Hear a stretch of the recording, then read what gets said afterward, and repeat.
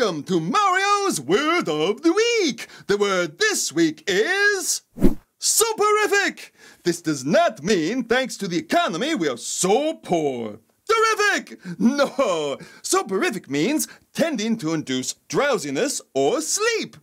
Here are some good ways to get all up in your soporific. We got uh, comfy pillows, we got sleepy time tea, and we got warm milk.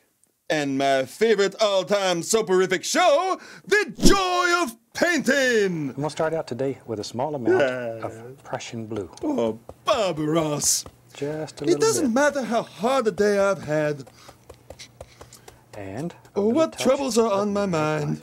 We have Prussian blue, When you start midnight black. talking about happy little Just mix it right on the days and like so. I watch your magnificent Okay, afro. right up here. Mm-hmm. Now, using the little crisscross or edge Swaying. strokes, Ever just so make gently, a happy little sky. Now see how And you you're make these little mixing X's? Cadmium Just yellow, Start at the top and crimson.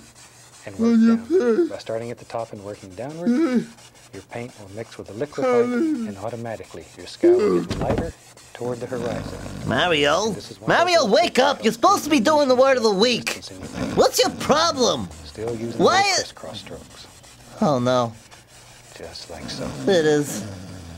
This is just pressure. The soporific terror. That is the. Okay. The joy of. Then, while I have that. Joy of painting. Maybe we'll have a little water. Curse you. I love water. Wow. the same colors, just white or black and blue. Whatever. You